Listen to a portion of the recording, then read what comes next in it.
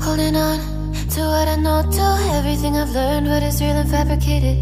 What is wrong? What is my problem? What can I get out of this world that I created?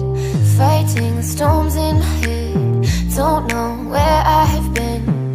I'm alone, no one to turn to, no one understands. Shit's too complicated.